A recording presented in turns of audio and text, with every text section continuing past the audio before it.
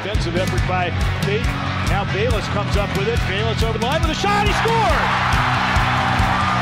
Obvious his ability when you watch him, and maybe that'll really get him going. Yeah, and sometimes that can be the spark. And three on two, McCune scores. Similar play.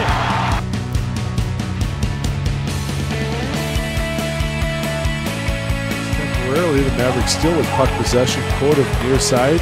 Benko puts on the shot that Dayfield sends up high. Kona score! Wow. Out of thin air, that was amazing. Wow. And it wasn't just sitting there, I mean, it was wobbling all over.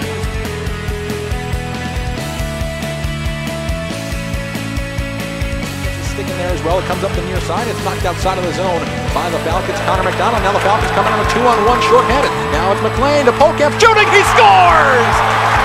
Matt Pohlkamp a shorthanded goal. The Falcons strike first. One nothing.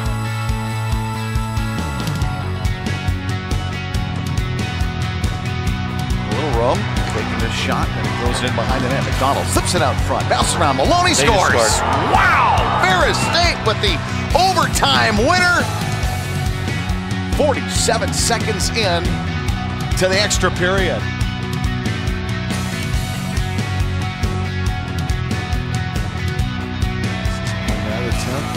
Up on top. Luger with the wrister. That one's wide.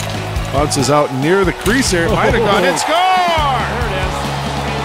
And I'm not sure if that was, yeah, Franklin, although he had a defenseman,